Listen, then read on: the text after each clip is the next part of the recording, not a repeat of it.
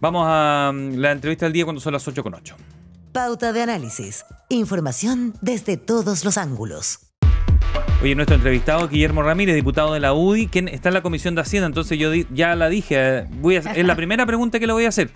Eh, IPC 0,4%. ¿Debe celebrar el ministro Marcel o no? ¿Le damos un, espacio para eso o nada? Eh, ¿Cómo está, diputado? Muy buen día. Eh, Constanza Santa María y Gerardo Gómez, le saludamos.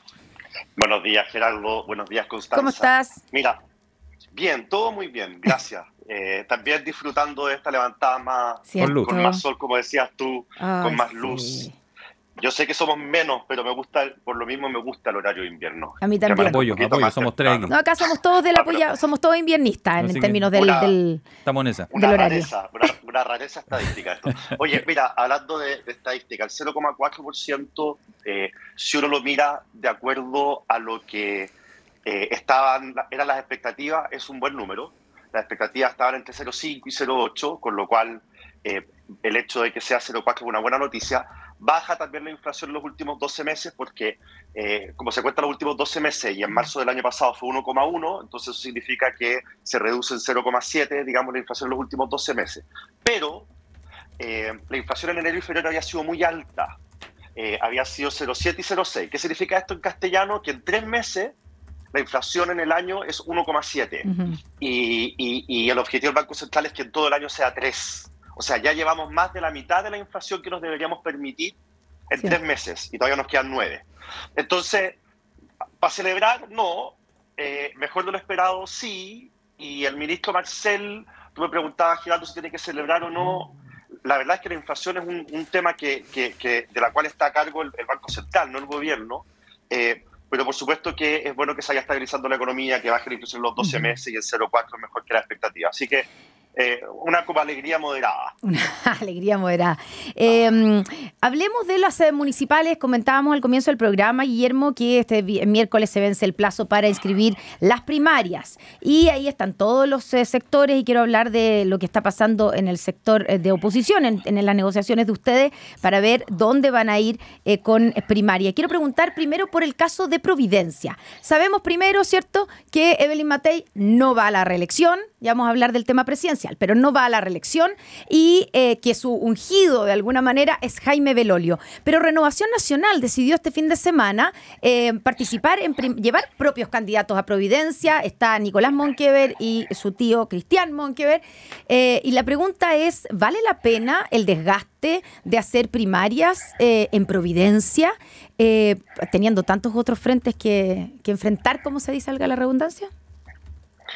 A ver, bueno, Cristian y Nicolás son primos. Yo creo que Cristian se puede molestar con esto. No, no, no, no, no, no, no. No, si aparecieron los dos nombres. No, no, pero Cristian es tío de Nicolás. Pero bueno, aquí vamos a... Cristian es hijo de... Casi la misma edad, pero... créame porque son parientes míos, sí que los conozco. Ya, te creo, te creo, te creo. Ya, pero, eso no importa. El, de generaciones corridas, como se dice. Sí, mira, a ver, pasa lo siguiente. Eh, si, es que, si es que Renovación Nacional tiene buenos candidatos para ir a competir en Providencia en una primaria, yo me voy a repetir a las palabras del mismo Jaime Belolio el fin de semana, en una entrevista, no sé cuándo los dos diarios, no me acuerdo, eh, eh, bienvenidas sean las primarias. Yo creo que acá eh, Evelyn Matei y el mismo Jaime son personas que en esto tienen una mirada de que lo mejor es la competencia, y que sean los vecinos de Providencia los que definan. Ahora, ya, pero eso es lo que tiene, eso es lo políticamente correcto que hay que decir. El punto es si vale la pena o no el desgaste de hacer primaria eh, en una comuna como Providencia, ¿no? A ver, yo obviamente que soy de la idea de que si hay buenos candidatos, y Nicolás Monker es un muy buen candidato, y Cristian Monker también, ojalá los podamos distribuir en todo Chile eh, para, para poder ganar la mayor cantidad de comunas posible. Nosotros hoy día, como Chile Vamos, tenemos alrededor del 20% de las comunas de Chile y la izquierda tiene alrededor del 80% de las comunas de Chile porque la elección de hace cuatro años fue un verdadero desastre. fue, fue muy mala. Mm. Sí, fue el mismo día que la elección de convencionales, en donde nosotros no sacamos ni siquiera un tercio de los convencionales en esa primera convención, y eso mismo se produjo a nivel de municipios, por lo tanto tenemos mucho terreno que recuperar con mirar al objetivo final, que es poder sacar de la moneda al Frente Amplio en las próximas elecciones presidenciales, y para eso nos tiene que ir bien en la municipal, y para eso tenemos que ser inteligentes, unidos y disciplinados. Ahora, Providencia es una comuna especial. Tú me dices, eso es lo políticamente correcto de responder. Sí y no. Lo que pasa es que como de ahí sale Evelyn Matei, eh, para ella es muy importante que la comuna que ella representó, eh, si es que tienen que hacerse primaria, se hagan. Eh, para ella es importante, dada la eventual responsabilidad que le va a tocar, mostrar su convicción democrática y de participación. Por eso no es una comuna como cualquier otra. Y Jaime entiende muy bien eso y por eso le ha dicho que las primarias son bienvenidas. yo preferiría distribuir mejor los recursos humanos pero en política de repente hay que mm. dar señales, mm. hay cosas simbólicas que son importantes, eh, y por lo mismo, dado la comuna en la que estamos hablando, si es que hay primaria, bien. Ahora, eh, el, RN en el Consejo General proclamó estas dos candidaturas, tendrán que definir cuál de las dos es, eh, y, a competir si ese es el caso. Y si no, bienvenidos Nicolás Monque y Esteban Monque también en otras comunas. Aquí es esto algo que va a tener que decir Renovación Nacional con toda la autonomía que, que tienen. Oiga, con respecto a, a, las Condes, que también decían es una comuna de la derecha y quien vaya por la derecha va a salir electo allí. Pero eh, hubo demasiado ruido, quizás más del deseable, con lo que pasó con Daniela Peñalosa, eh, con lo que ocurrió con Marcela Cubillos. Eh, ¿Por qué se dio esto? ¿Se, tomó al final como una señal? digo, dejar un, precedente allí de cómo se iban a hacer las cosas, lo digo por la salida de Daniela Peñalosa y evitarse problemas futuros al no llevarla como candidata.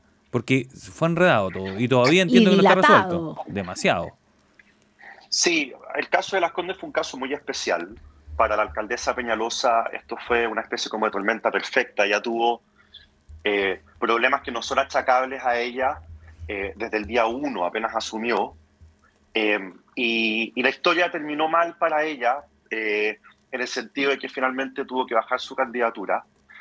yo creo que el tiempo va a demostrar Em, que algunas de las cosas que más sonaron, como el tema del CEFAM o de las horas extra, eh, no tenían absolutamente nada que ver con la alcaldesa, pero eso ya, bueno. Ya, pero prevaleció esa, esa, esa, prueba de la blancura, como que prevaleció. Para allá me pregunta, ¿no? Porque para evitarse un cuestionamiento futuro. O sea, eh, tu pregunta asume que fueron los partidos los que decidieron bajarla, digamos. Eh, y la verdad es que aquí lo que ocurrió es que los partidos estaban analizando la situación, porque como tú bien sabes, ¿Mm? Em, la, la, inscripción de los candidatos es en julio y en política tres meses es una enormidad. Una vida. Eh, sí, fue ella la que tomó la decisión de, eh, de, no seguir, de liberar a los partidos y como dijo ella en su declaración, ella no quería que su nombre, el de Daniela Peñalosa, fuera eh, utilizado o fuera sinónimo de división en la derecha en una de las comunas más importantes. ya, pero, ustedes la, pero ustedes la apoyaron, eh, de los partidos, digo yo, sino porque podrían haberla convencido de, si, los partidos hubieran estado seguros de que eh, era una carta segura y de que no había problema y que no habría problemas con todos estos problemas legales que estaba mm, enfrentando, eh, le, habrían convencido. O al revés. O al revés, de un inicio, decir, mejor que no, mejor que no, mejor que no. O sea, ¿a ustedes les pareció bien? ¿Estuvieron de acuerdo con que ya no era la mejor opción que fuera ella? Los partidos la apoyaron siempre. Mientras ella mantuvo su candidatura, los partidos la apoyaron. La UDRN llevó Poli y en parte el Partido Republicano la apoyó. Mm. Eh, y cuando ella tomó la decisión de no seguir, también fue apoyada. ¿Y, cuánto? Eh, ella, la alcaldesa Peñalosa, es una persona dentro de la coalición eh, respetada y querida. Eh, y creo que el gesto que ella tuvo demuestra un poco o confirma la imagen que los que la conocen más y están más cerca de ella tienen de ella.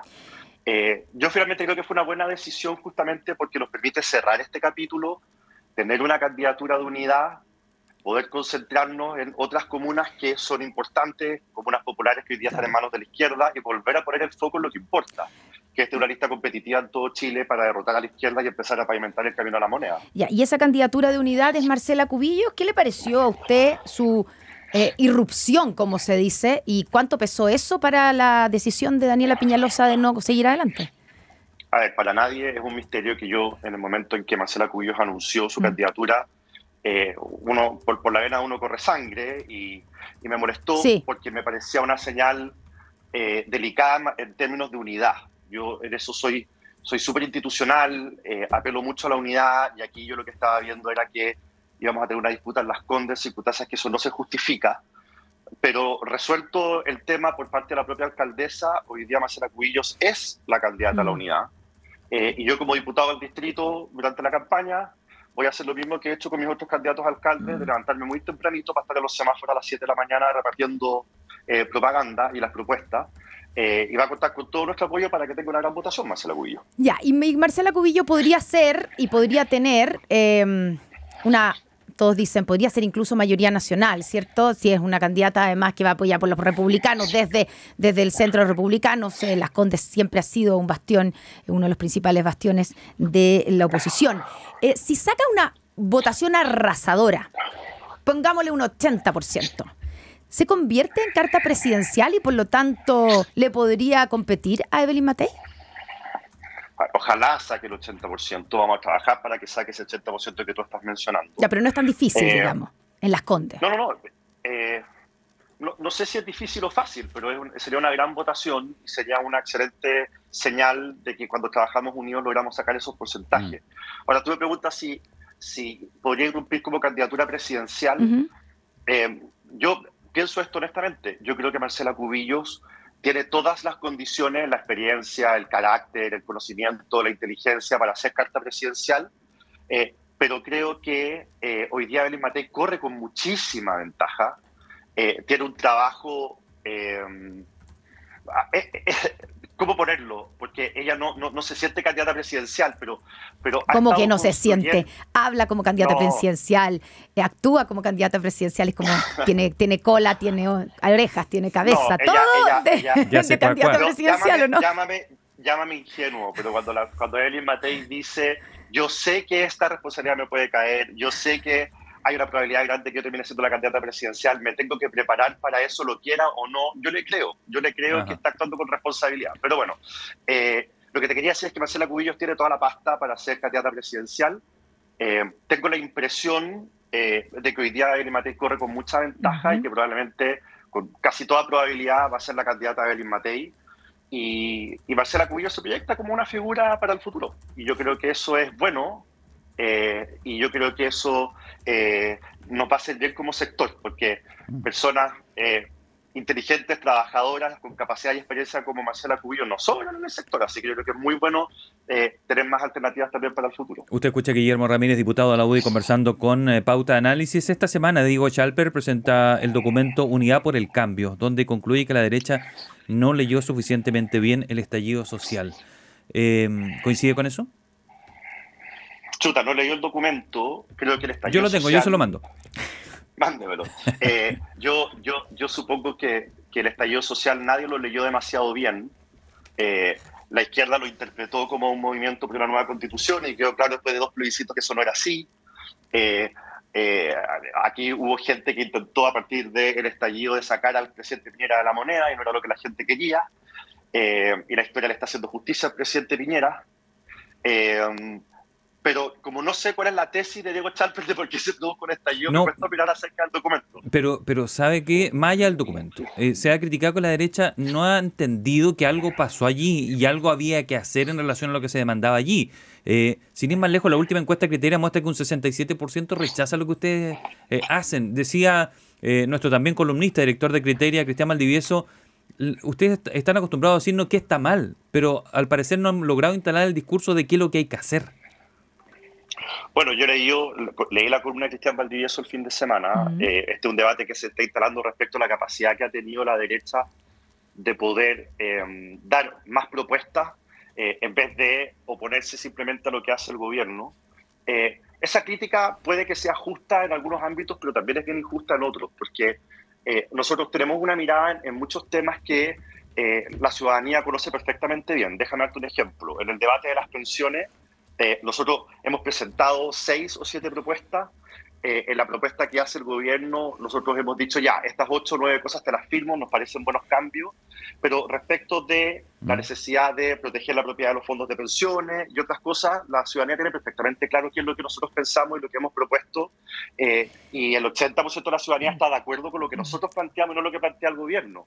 Eh, en materia de educación, la ciudadanía tiene perfectamente claro lo que nosotros pensamos de la tómbola, tienen perfectamente claro lo que nosotros pensamos de los, de los SLEP. Ya, pero el 67%, 67%, eh, ahí está. Sí, está bien, está bien. Lo que, pasa, lo que pasa es que hoy día, cuando, cuando el gobierno pone la mm. música, cuando el gobierno es el que decide cuáles son los temas urgentes, son los que ponen las urgencias en el Congreso, son los temas que se van a discutir, eh, por supuesto que uno tiene que estar reaccionando muchas veces. Eh, pero nuestra postura no es una postura simplemente del no. Nuestra postura en muchas materias tiene posiciones conocidas por todos los chilenos, las hemos defendido con fuerza y las vamos a seguir defendiendo. Que se puede mejorar que hay ámbitos en los que no hemos hecho propuestas suficientes y en los que estamos en deuda, de eso no hay ninguna duda. Claro, yo solamente bien cortito voy a parafrasear al diputado Chalpen en su tesis. Lo que él sostiene es que, y por qué habla del estallido social, es que si la derecha cree que, eh, digamos, eh, con, un par de grupos haciendo programas de gobierno, eh, proponiendo un programa de gobierno y confiándose en que, en defender las libertades, digamos, Em, eh, y, en la mala evaluación que hay del gobierno van a ganar la próxima elección y van a poder hacer un buen gobierno, están equivocados. Lo que él sostiene es que hay que pegarse una evaluación mayor de que, o acordarse que detrás del estallido social, más allá de quienes lo organizaron, quienes lo, eh, eh, digamos, lo levantaron, etcétera, había, digamos, un millón de personas salió a protestar en Chile porque estaban descontentas. Y ese descontento, dice Diego Chalpen, sigue ahí en muchas materias, que entonces el sector de ustedes tiene que concentrarse no solo en las libertades, sino que también en asegurar, en dar seguridades. Y esas seguridades no es solamente contra la delincuencia, sino que también seguridades de una buena pensión, eh, seguridades en la salud, un plan garantizado de salud, etcétera. Dicho esto, quiero preguntarle, y esto va de la mano con lo que dijo anoche, y lo ha dicho un par de veces, la mm, ex candidata, o sea, la ex, la alcaldesa de Providencia y la precandidata presidencial de su partido, Evelyn Matei, y dijo que ella estaba preocupada, por ejemplo, por la crisis de la vivienda. Dice que la crisis es tan grave que ella teme un nuevo, eh, una revuelta, un estallido social, no le dice así, sino que un nuevo estallido a partir de la crisis de la vivienda y que es ahí donde, por ejemplo, tienen que concentrarse los esfuerzos de su sector. ¿Usted coincide? ¿Tiene ese mismo temor de Evelyn Matei y Guillermo Ramírez? A ver, lo que, lo que dice Evelyn Matei y lo que insinúa Diego mm. Chalper es algo que yo comparto 100% y que he venido tratando de decir hace rato. Déjame plantearlo de otra manera, que es como lo suelo plantear yo, que es que eh, la, derecha, nuestras ideas siempre han sido reformistas. Chile es lo que es porque se hizo una gran reforma eh, en el país, de las instituciones, de la economía, eh, que nos han permitido progresar y haber tenido esos 30 años tan extraordinarios que tuvimos. Y en algún minuto la derecha se transformó en una especie como de de tener esta vocación de reformismo, pasamos a tener una vocación de dique, simplemente de resistir cualquier tipo de cambio, de que no nos fueran a cuestionar nada de lo mm. que habíamos hecho eh, y, finalmente transformarnos en una derecha conservadora en el sentido estricto de la palabra, mm. de conservar lo que hay sin generar ningún tipo de cambio. Yo me siento parte de una derecha reformista. Yo creo que faltan muchas cosas que nosotros tenemos que hacer para que el país pueda progresar más rápido, para dar más seguridades eh, para poder garantizar más libertades y eso la izquierda no lo va a hacer. o sea, ¿usted eh, coincide con la tesis de Diego Chalpen?